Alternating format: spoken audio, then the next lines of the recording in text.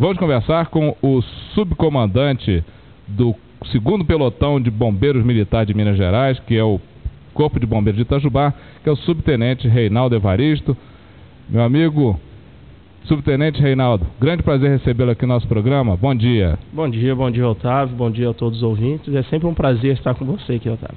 Pois é, é, é subtenente, é, nós tivemos chuvas, chuvas e mais chuvas ao longo de todos esses dias. Nós, é, inclusive, convidamos é, nesse até ontem o Selemo Allen, que é o porta-voz né, do comitê de enchente, também chamado comitê de crise, e ele sempre tranquilizando as pessoas em relação à vazão do rio Sapucaí, né, que é, mesmo que as chuvas continuem nessa frequência que estão não há risco de é, extravasamento do, do, do rio, o que não acontece com os outros afluentes que nós temos aqui.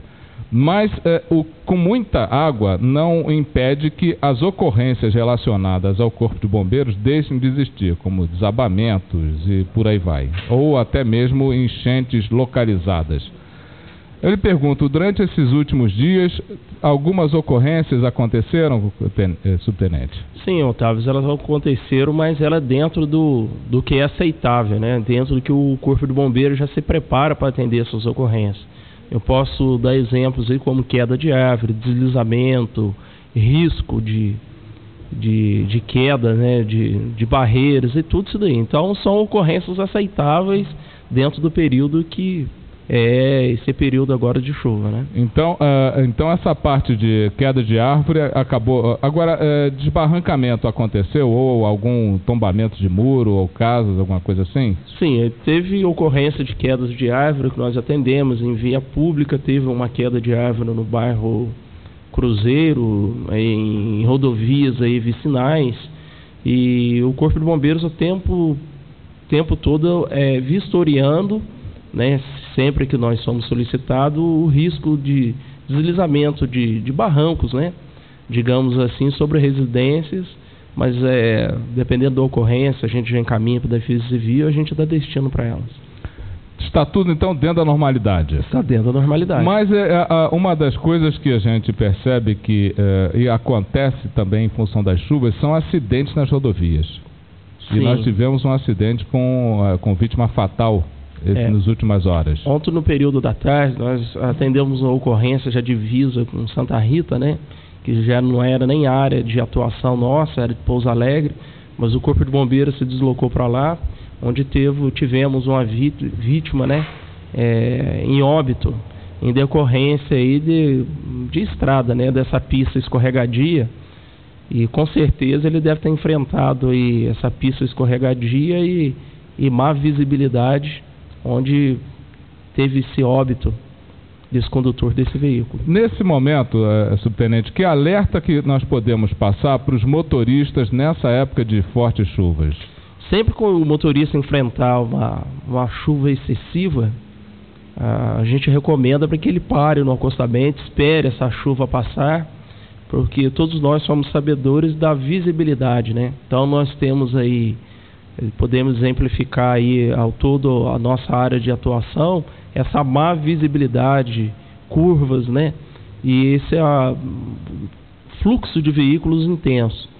E, e sempre a gente está tendo aí esse resultado de queda de motociclista, envolvendo veículos pesados em geral. Então a gente, peça, a gente pede que o motorista que ele tenha calma, que tenha paciência e sempre que possível ele parar no acostamento e esperar essa chuva passar. É, agora, é, e diante de queda de raios? Olha, queda de raios é, um, é muito complexo, né? Mas a orientação que nós temos é sempre quando tiver a descarga atmosférica, se a pessoa puder desligar todos os equipamentos eletroeletrônicos dentro da residência, ele não manter contato com, com orelhão, não é, se abrigar debaixo de árvore, né, não ficar num, num, terreno muito isolado, muito ermo, que ele pode ser aí um ponto aí de descarga atmosférica. Aliás, é uma atenção que o motorista também deve ter quando ao encostar o seu veículo no acostamento, é verificar se não está próximo de árvore, próximo de poste, né? Com certeza. Isso daí também é, é, podemos exemplificar isso daí até mesmo na área urbana, né? Porque a gente tem diversas árvores aí e com rajadas de vento nesse período, com certeza ele vai ser vítima de quedas de água. Ok. É, subtenente, previsão do tempo é, da Defesa Civil do Estado para a região do sul de Minas? É de 5 a 25 milímetros por hora, com rajadas de vento e descarga atmosférica. Relâmpago? Com certeza. Aqui na região? Para a região também. Então, bom, então as dicas já estão dadas, né? É, para dona de casa des desligar os eletrodomésticos? Sim, a gente verifica bastante aí com esse período agora, é, queimas né, de equipamentos, as, as pessoas né, são vítimas de quedas de descarga atmosférica, apesar que na nossa região nós não tivemos nenhum caso com vítimas disso, com mas para a nossa região já está o alerta aí de descarga atmosférica. Mas queima de eletrodomésticos, computadores, etc., teve bastante, Sim, né? com certeza.